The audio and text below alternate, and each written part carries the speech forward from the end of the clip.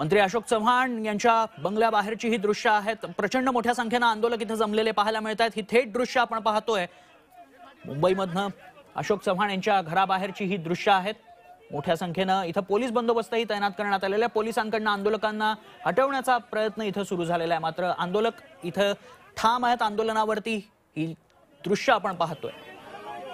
सारथीचा विस्तार कक्षात कशात अडकला असा सवाल या आंदोलकांनी विचारलेला आहे आणि हाच प्रश्न घेऊन इथं आंदोलक झोपलेले आहेत ठिय्या देऊन बसलेले आहेत. पोलिसांकडनं त्यांना हटवण्याचा प्रयत्न करण्यात येतो अशोक चव्हाणांच्या बंगल्या बाहेरची ही दृश्य आहेत. अशोक चव्हाणांच्या बंगल्या बाहेर आंदोलक आहेत. आंदोलक त्यांना उचलून घेऊन घेऊन गेलेले आहेत. जमलेले. पोलिसांनी ताब्यात घेतलेला आहे.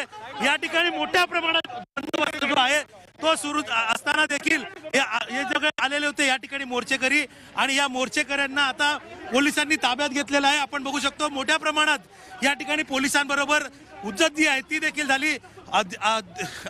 त्यामुळे अक्षरशः पोलिसांनी त्यांना बळजबरीपणे उचलून या गाडीमध्ये टाकलेलं आहे. आणि आता या एक गाडी गेले आता सवर सगळ्यांना या पोलिसांनी ताब्यात घेऊन त्यांना मलबारील पोलीस स्टेशनमध्ये नेणार आहेत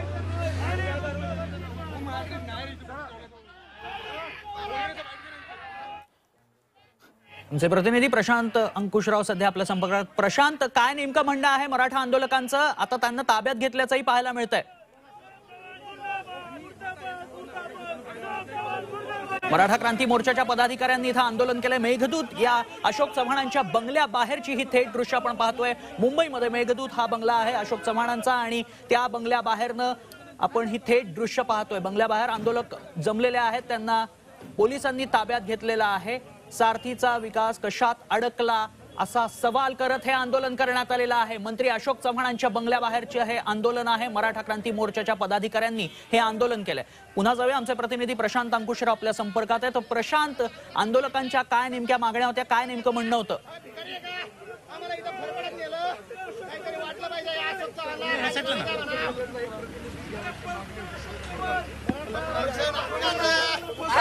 आरक्षण आमच्या कुणाच्या बापाचं मराठा आरक्षण आमच्या हक्काचं ताब्यात घेतलेलं आहे.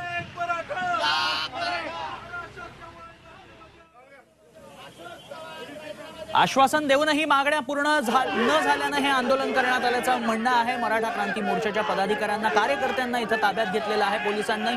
मराठा आरक्षण आमच्या हक्काचं असल्याचं घोषणाबाजी हे कार्यकर्ते आंदोलक करतायत आणि त्यांना पोलिसांनी ताब्यात घेतलेलं पाहायला मिळतं मंत्री अशोक चव्हाणांच्या मेघदूत बंगल्याबाहेर हे आंदोलन करण्यात आलेलं आहे. पोलिसांनी बळाचा वापर करत त्यांना ताब्यातही घेतलेला आहे. मराठा क्रांती मोर्चाच्या पदाधिकाऱ्यांनी हे आंदोलन केलं त्यामुळे मागण्या पूर्ण न झाल्यानं आंदोलन करण्यात आल्याचं या आंदोलकांचं म्हणणं आहे. सारथीचा विकास कशात अडकला हा मुख्य प्रश्न या आंदोलकांनी विचारला. त्यानंतर अशोक चव्हाणांच्या बंगल्याबाहेर त्यांनी ठिय्या देत आंदोलनही केलेलं आहे. त्यामुळे आता या आंदोलकांना पोलिसांनी ताब्यात घेतल्याचं पाहायला मिळतंय. मात्र आंदोलक घोषणाबाजी करतात प्रचंड मोठ्या संख्येनं इथं आंदोलक जमले होते. त्यानंतर त्यांनी घोषणाबाजी केली. मेघदूत या बंगल्याबाहेर अशोक चव्हाणांच्या घोषणाबाजी करण्यात आली.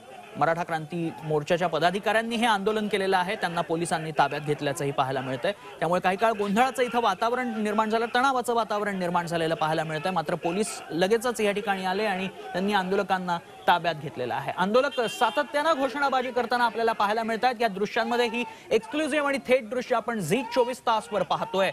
सातत्यानं झी चोवीस तासवरती आपण ही दृश्य पाहतोय. मराठा क्रांती मोर्चाच्या पदाधिकाऱ्यांनी आंदोलन आंदोलकांनी इथं आंदोलन केलंय. मुंबईमध्ये मंत्री अशोक चव्हाणांच्या बंगल्याबाहेर मेघदूत या बंगल्याबाहेर त्यांनी हे आंदोलन केलंय.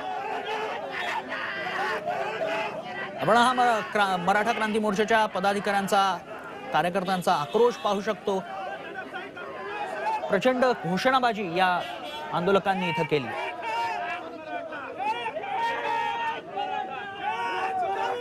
एक्सक्लुझिव्ह दृश्य झी चोवीस तासवरती तुम्ही पाहताय. मुंबईमध्ये आंदोलन करण्यात येत आहे मंत्री अशोक चव्हाणांच्या बंगल्याबाहेर हे आंदोलक जमले होते. इथे ठिय्या दिला होता.